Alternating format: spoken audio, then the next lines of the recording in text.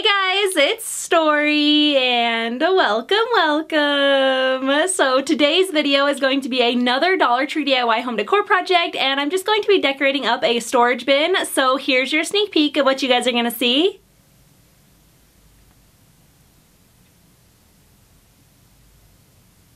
And let's just go ahead and get started. I'm starting out with this large plastic bucket that I found near all the other storage bins at my Dollar Tree and this silver fringe poster border that I found in the office supplies. The fringe border has an adhesive back so I just peeled off a section of the backing. I counted up five lines from the bottom and pressed the fringe just below that line and went around the bucket. I completed my first row of fringe and for my second row I'm going just three lines above the bottom row of fringe. I repeated this adding five rows of fringe, each of them three lines on the bucket apart, and I used a total of three packages of the fringe border. I ended up placing mine by our fireplace and filling it up with logs just for decor purposes, but you could easily use this for really any kind of storage. And here's one final shot for you guys of how the project turned out.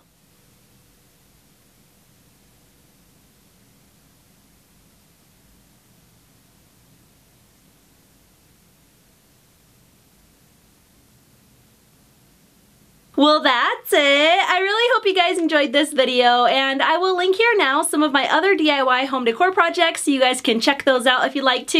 And as always, thanks for watching. I'll see you soon. Bye-bye.